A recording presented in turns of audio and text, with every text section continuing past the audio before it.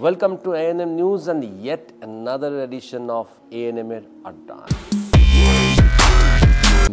Uh, till my class uh, two, I was a very, very naughty kid.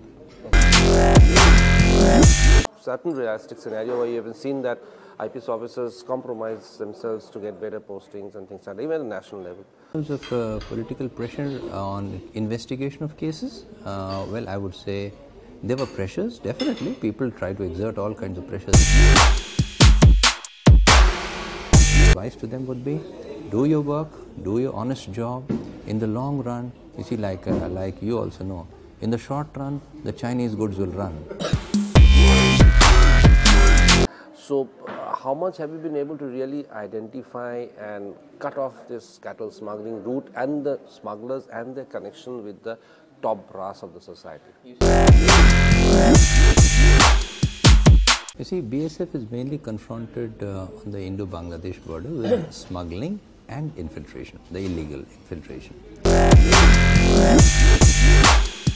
You see, you must have heard of the C- CBI which has registered a case. Uh, it, it initially started with a CBI officer getting arrested uh, and he was taking money to his home state in Kerala.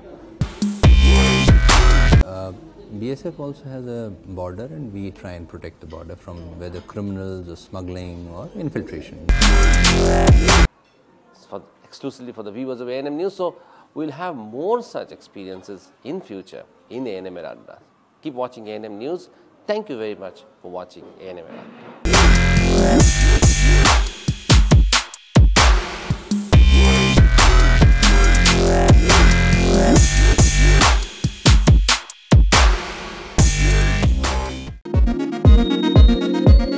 সমস্ত খবরের তৎক্ষণাৎ update পেতে subscribe বাটনটি click করে bell বাটনটি click করুন